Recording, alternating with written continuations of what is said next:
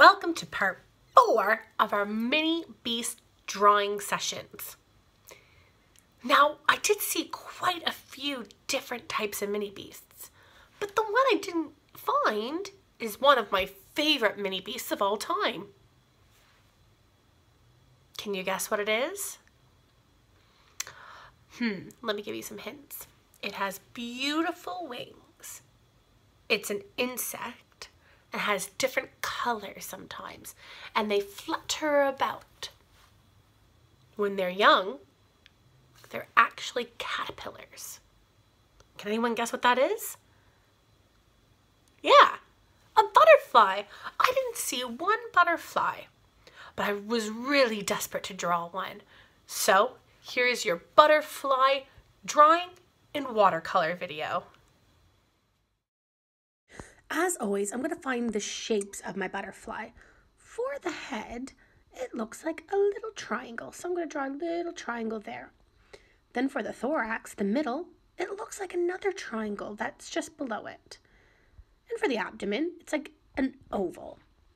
Hmm, what other shapes do we see? Oh, well, we got the antenna, which we got a line and a circle at the top. For the butterfly wings, it looks like a triangle. So I'll draw a triangle. And the bottom wing kind of looks like, actually, kind of looks like a teardrop. So those are the shapes of our butterfly we'll use. Now that I know my shapes of my butterfly, now I'm going to draw them using my pencil.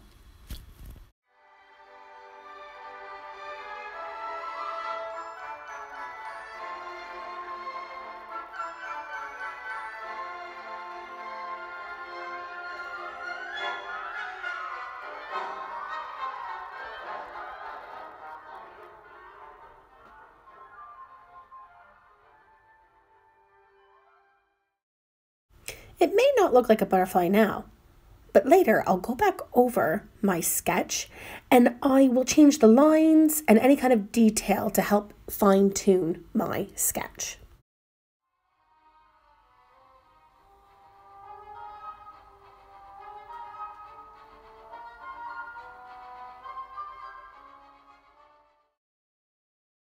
While I was going back over my sketch, I realized that the butterfly had more shapes inside of its wings. So I went back and I looked for them. Looks like I found a four-sided shape, which is called a quadrilateral. It's not quite a square and it's not quite a rectangle. And I also found some triangles.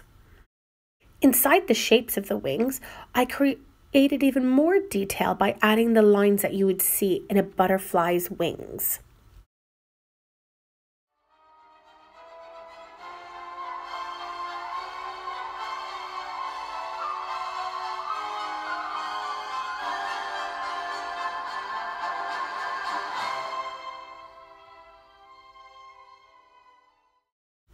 I rounded off edges to make the butterfly's pattern look a little bit more realistic. And there you have it. This sketch is complete.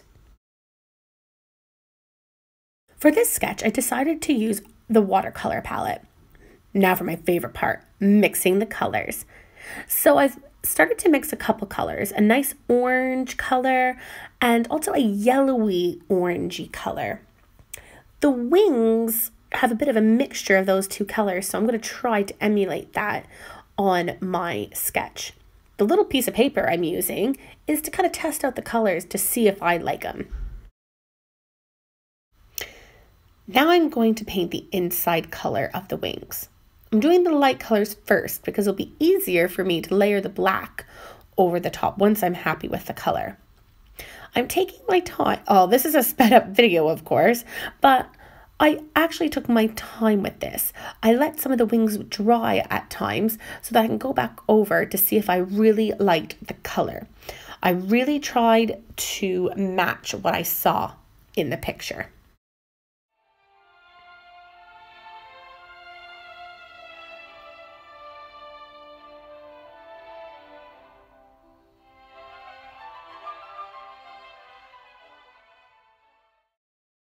Once my painting dried, I went back over it again with the orange and yellow colors just so I can add a little bit more detail.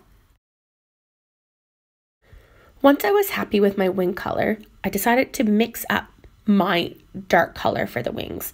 Now, when I really looked closely at my picture, I realized that it wasn't exactly black. It was more like a browny black. There was a bit of purple in there, so I had to really try to match the color by mixing a bunch of different colors together to get what I liked. And then I tested it out on my test paper just to make sure I really liked it.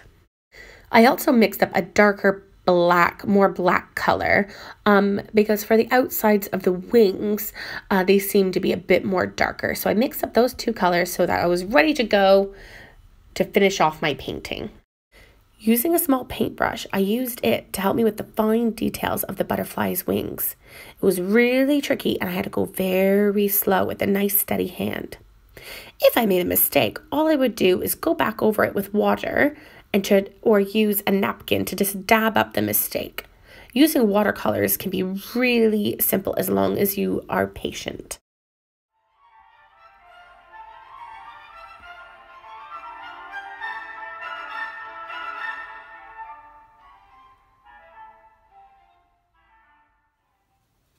Once I was happy with all my dark colors and it was completely dry, I realized that I needed to add little hairs to the thorax of the monarch butterfly's body. I used a gray and a purple and I did little tiny strokes to show that it actually has a bit of hair on its thorax.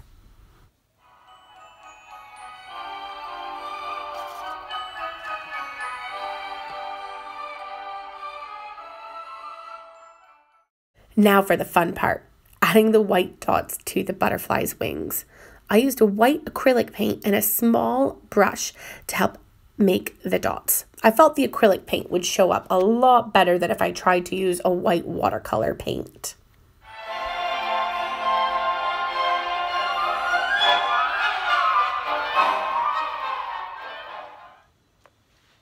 There you have it, my watercolor butterfly. Oh, I really do like it. I'm really quite proud of myself for that. What I like about it most is I love the inside of the wing so much. I love how I was able to blend the oranges and the yellows together. That's why I really like watercolor paints, is because you can kind of blend them and make a really interesting pattern when it dries. If I had to change something, an improvement, the next time I did it, I would probably do my little, I think I went a little bit too fast doing the white dots because I was really excited to finish the picture, but what I should have done was take my time. So I think I could have made my white dots just a little better. But the important thing is I did it. I'm very proud of it. And yeah, there you go. Can you do a watercolor butterfly? Can you do any kind of mini beast with watercolor? How about you give it a shot? Remember, anyone can be an artist. You just got to give it a shot.